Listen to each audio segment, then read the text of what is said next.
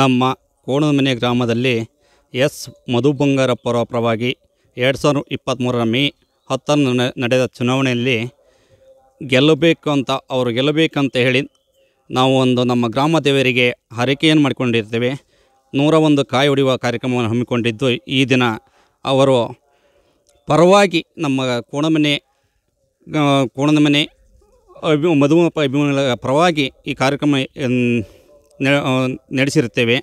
ಹಾಗೆಯೇ ಅವರಲ್ಲಿ ವಿನಂತಿಸಿಕೊಳ್ಳೋದಂದರೆ ನಮ್ಮ ಗ್ರಾಮಕ್ಕೆ ಇನ್ನು ಮುಂದೆ ಅಭಿವೃದ್ಧಿ ರೋಡು ಅಥವಾ ಯಾವುದೇ ಸಮಸ್ಯೆ ಆದರೂ ಬಗೆಹರಿಸಿಕೊಡ್ಬೇಕಾಗಿ ನಮ್ಮ ಸಮಸ್ತ ಕೋಣಮನೆ ಮಧು ಬಂಗಾರಪ್ಪ ಅಭಿಮಾನಿಗಳ ಪರವಾಗಿ ಕೋರಿಕೊಳ್ಳುತ್ತೇನೆ.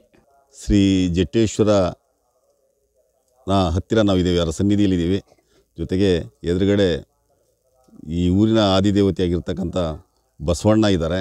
ಈ ಸನ್ನಿಧಿಯಲ್ಲಿ ನಾವು ಇವತ್ತೊಂದು ಕೋಂಡುಮಲೆಯಲ್ಲಿ ವಿಶೇಷವಾಗಿರ್ತಕ್ಕಂಥ ದಿನ.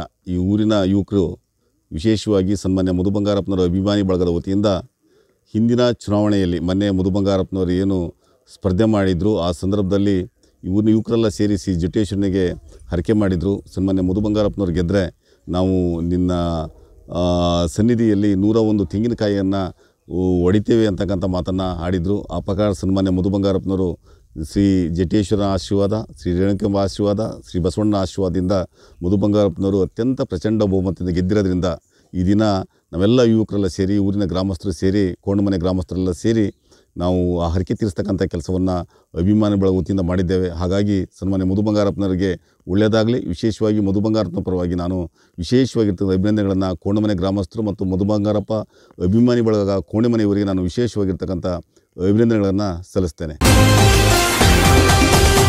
ಟಿವಿ ಟ್ವೆಲ್ವ್ ಕನ್ನಡ ಇದು ಕನ್ನಡಿಗರ ಧ್ವನಿ.